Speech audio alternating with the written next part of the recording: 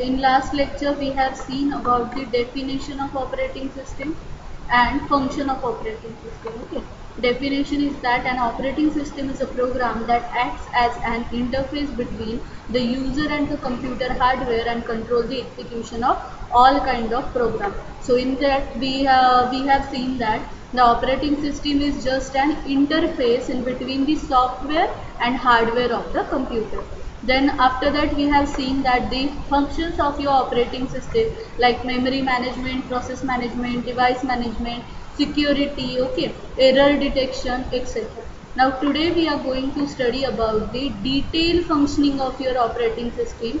So let's start with the memory management. Now memory management which is refers to the management of the primary memory or a main memory Main memory is a large array of a word or a byte where each word or a byte has its own address. So now what is meant by memory management? So memory management is exactly based on your primary memory or a main memory concept. So that your main memory is a large array of words. So exactly what your uh, main memory is nothing but the combination of the large arrays. Uh, what is meant by array? Array is a variable which is stored the set of data. Date वहाँ पे जो array होता है array किसी एक word या एक letter को नहीं तो number of letters number of words और we can say a bunch of data जो होता है या बाइट्स ऑफ़ डेटा जो होता है, उसको एरे जो है वो स्टोर्ड करता है okay and also it stores the words और bytes which has its own address तो एग्जैक्टली एरे का जो एड्रेसिंग फॉर्मेट होता है that is your contagious memory location continuous memory location के अंदर वो जो एरे होता है वो डेटा uh, को स्टोर करता है. Now main memory provides a fast storage that can be access directly by the CPU जो मेन मेमोरी होती है वो डेटा को फास्टली स्टोर करती है and we can access that memory very fastly so main memory जो होती है एग्जैक्टली exactly वो बहुत ज़्यादा बड़ी होती है साइज़ में.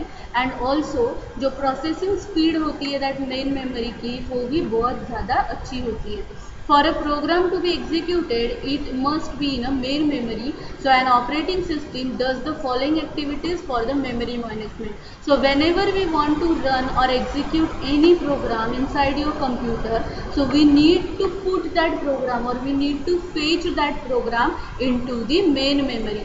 तो जब तक वो प्रोग्राम या कोई भी प्रोसेस जब तक मेन मेमोरी के अंदर लोड नहीं हो जाती, तब तक हम लोग उस प्रोसेस को या उस वी से उस प्रोसेस को या उस प्रोग्राम को एग्जीक्यूट नहीं कर सकते। तो अभी जो ऑपरेटिंग सिस्टम होती है, वो मेमोरी मैनेजमेंट के अंदर कौन से कौन से टास्क परफॉर्म करती है? So let's see it keeps a track of primary memory, that is, what part of it are in use by whom and what part are not in use. So exactly operating system सबसे पहला work करती है that की primary memory जो है, उसके अंदर कितना स्पेस जो है ओके लेट्स कंटिन्यू